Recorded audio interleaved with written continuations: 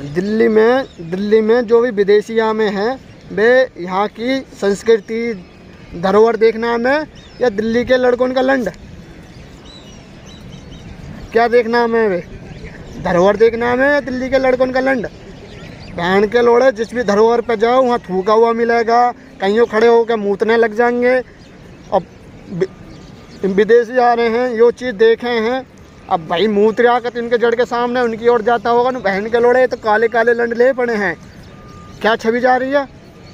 उनकी लड़कियों में रशिया में, जो रशिया लड़की हैं, जो रशियन हैं, उनमें हिंदू लड़कों उनकी क्या छवि जा रही है? नहीं तो काले काले लंड के हैं। फिर अब में उन्होंने अफ्रीकन में क्या अंतर रह जाएगा? कम से कम इस बात की तो शर्म कर करो, बहन चो तो कि पूरे उसको पता पड़ रही है, काले काले लंड हैं इनके। तो भाई ऐसा ना दिखाया करो। थोड़ा सब्र करो मूतने के लाख केजरीवाल बनवा देंगे तुम्हारा, क्योंकि अभी चुनाव हुए हैं, बासठ करोड़ चुनाव में लगा दिए। तो अभी तंगी चल रही है उनके हाथ की, इसलिए बाथरूम नहीं बनवा पा रहे।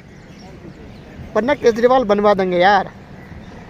बिजली पानी तो फ्री दे ही रहे हैं, रोज़गार बीच में बोलेंगे नहीं।